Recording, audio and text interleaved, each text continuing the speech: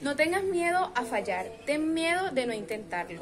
Hoy estará con nosotros la doctora María Rojas Estapé con un nuevo consejo de vida.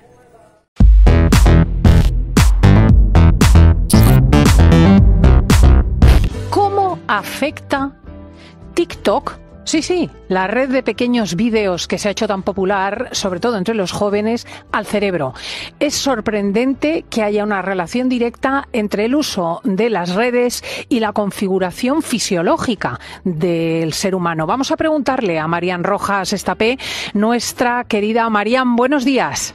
Buenos días, Cristina. Eh, sacas un tema que, bueno, todos los que nos escuchan saben lo que es TikTok, que son estos vídeos cortitos en la aplicación. Pero es que encima, ayer un paciente, Cristina, me decía, un abogado que trabaja en un despacho, que hizo una oposición, dio listísimo, y me decía, desesperado en la consulta, Marian, yo por las noches leía tomos de libros de historia, yo de repente me cojo mi tablet y me pongo a ver vídeos de TikTok y a gente diciendo tonterías. ¿Qué, me está pasando? Marian, ¿esto es esquizofrenia o qué es? No me decía ayer el, el pobre desesperado. Y entonces se lo expliqué. Por eso te dije, hay que hablar de este tema, ¿no? Le dije, te voy a explicar por qué de repente TikTok ha invadido nuestra vida y tiene el impacto de que en un momento libre decides ver TikTok. Y en vez de ponerte a leer un libro, a resolver un problema o a hablar con alguien, pues eh, es como el Candy Crush parecido. Pero ¿por qué tiene este, el, TikTok este efecto? Entonces, bueno, lo primero es saber que hay, yo creo que hay tres características de TikTok que son claves. La primera es que son vídeos cortos, muy cortitos, de segundos, un minuto máximo, yo creo que tiene dos minutos. Luego, todo está personalizado. Esto es clave. Es decir, a ti, si a ti no te interesa la geopolítica, no te van a poner geopolítica. Si te interesa la cocina, los bailes, eh, la ropa, el maquillaje, da igual lo que sea, pero lo que tú hayas puesto que te guste y donde tú hayas dedicado unos instantes a prestar atención, lo registra el algoritmo que tiene TikTok y entonces te empieza a poner cosas relacionadas con eso, ¿no? Con ese tema. Si tú ves unos vídeos de motivación, te empieza a poner vídeos de motivación. La gente dice, uy, qué curioso, siempre me pone, no, no, no, esto no es curioso, esto está diseñado para ser así. Y lo tercero es que van uno tras otro, uno tras otro. O sea, no hay un espacio ni para la reflexión, ni para parar, ni para... Y entonces es dopamina y dopamina, gratificación instantánea, dopamina. Y eso, esto que vemos, es luz, sonido y movimiento. Entonces se mueve y entonces hay luz y entonces hay movimiento y entonces hay un baile, entonces hay coordinación y hay cuatro niños bailando tres, no sé qué. Y claro, han elegido el tema por el que tú sientes debilidad, te lo cuentan como a ti te gusta y una y otra vez experimentas satisfacción tras satisfacción. Pero claro, muchos de nuestros oyentes dirán, bueno, pues si te gusta, bueno, claro, pero entonces esto qué pasa, que esto tiene una afectación en el cerebro. Lo primero es que modifica el sistema de recompensa y esto es importantísimo, sobre todo en nuestros jóvenes, que lo que queremos es crear crear, entre comillas, un buen sistema de recompensa en sus cerebros. ¿Qué significa el sistema de recompensa? Es yo quiero algo, lucho por ello y lo consigo. Y entonces yo voy generando hábito de voluntad, hábito de esfuerzo, hábito de constancia, hábito de orden. ¿Qué pasa? Que si yo todo el rato quiero sentir algo y soy un drogodependiente emocional, soy un tío adicto a sentir constantemente algo, me meto en TikTok porque siempre voy a sentir algo, porque está diseñado. Y encima, si no te gusta, plup, pasas el dedo, la siguiente, plup, pasas el dedo.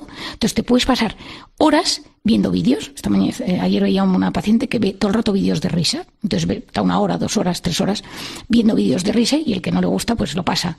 Entonces, tu sistema de recompensa que es importantísimo, que es el que tolera la frustración, el que sabe posponer la recompensa, es donde está el núcleo de la fuerza de voluntad. Es decir, a mí me apetece comerme eh, este chocolate, yo ahora mismo no me lo como porque no me conviene, porque estoy a dieta, porque tengo resistencia a la insulina o porque no me conviene tomar tanto chocolate.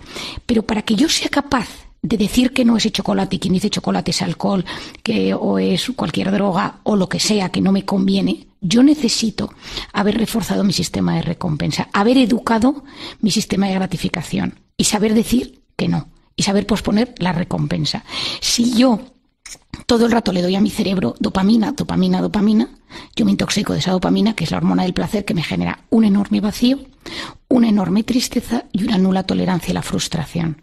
Es decir, cuando algo no sale como yo quiero, y esto lo estamos viendo en los jóvenes, Cristina, ya te lo he dicho algún fin de semana, con muchísimos problemas de ansiedad, de depresión, de rabia y de inestabilidad emocional. Porque claro, Cristina, la vida tiene muchas cosas que no nos gustan. En la vida pasan cosas malas. De repente el chico que te gusta no te, no te hace caso. Eh, tu amiga te, se pelea contigo. Sacas malas notas. Eh, en tu casa hay peleas. Entonces, o aprendes a gestionar la frustración poco a poco o si no tu cerebro te pide TikTok. Digo TikTok, Instagram y tal, en este caso estamos hablando de TikTok. Sí, pero me da la impresión de que ese mecanismo también está detrás de quien anda enganchado a las redes de relaciones, Tinder, Mythic, quien eh, continuamente busca Twitter en los ratos libres, en las colas, en los autobuses. Eh, quiero decir que es un mecanismo de recompensa que se repite en las redes sociales bueno, se repite tanto, tanto, tanto, que al final los grandes de las tecnologías lo saben y lo han diseñado así. Yo, por ejemplo, me acuerdo una vez hablando con un directivo de una de estas plataformas, le dije, entre vídeo y vídeo debería haber al menos cinco segundos, es decir, que el cerebro pare y tú tengas un momento de decidir. ¿Sigo o no sigo? Claro, entonces me dijo que perderíamos dinero y le dije ya, pero ganaríamos en atención, ganaríamos en salud mental. Es decir, yo es que yo entiendo que hay muchísimo dinero detrás, que es una, es una obsesión por captar la atención del usuario en la pantalla, pero esa crisis de atención que estamos viviendo para mí es uno de los grandes problemas de la, de, si me dijeras, uno de los problemas fuera del hambre y la guerra, etcétera, ¿no? Y Turquía, por supuesto. Pero un problema para mí social, psicológico, es esta crisis de atención. Oye, ¿y qué le has dicho a tu paciente? Quien está engolfado por la noche en TikTok en lugar de leer, ¿qué solución le puede poner?